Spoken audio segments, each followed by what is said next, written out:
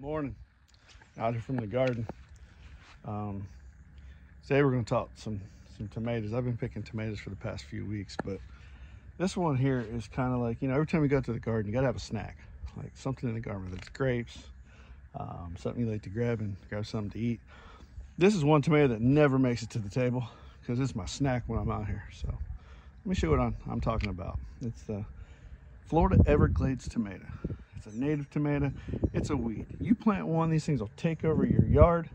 You drop a tomato, you got another tomato plant. I haven't bought seeds in years. I just take a couple tomatoes and save them, regrow them every year. So let's have a look. They will take over. Just be cautious. Oh, there's some tomatoes I picked this morning that blushed. I'll put them inside the right. But it's up. I mean, they're about to grow over my fence. Uh, last year they were halfway across the neighbor's yard. Like, like, I said, most of them never make it to the table. I come out here, they grow in usually pods of six or seven. You can cut them off, take them inside, but mine never make it.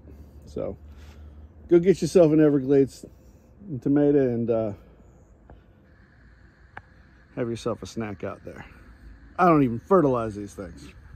So as you can see, it's a smaller tomato but they grow like a vine. I mean, like crazy. But it's a native tomato to Florida. And they will produce all summer long. So all you do is reach down when you're out in the garden, you're a little hungry, grab one off, and you eat it. They're just so juicy. They're almost addicting.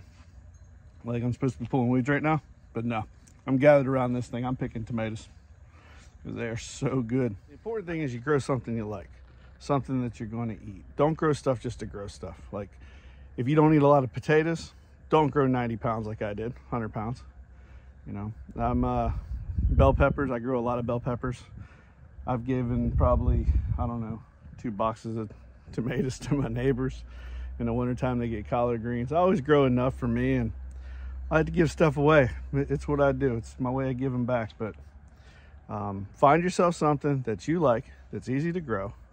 Um, I picked these because I virtually put them in the ground and I might fertilize them when they first come up and that is about it. They pretty much take care of themselves. It's a native plant, so it doesn't require a lot of maintenance. So you can purchase the seeds online. Um, there's a lot of trade groups on, on Facebook. Me, I planted them a couple years ago. They took over my yard. I grab a few tomatoes, squish them out, stick them in a paper towel, dry them out, put them in a bag, replant them the next year. I've also found if you just put them in a paper towel, fold them over, get you a big pot and put it in there, put some, some dirt on top.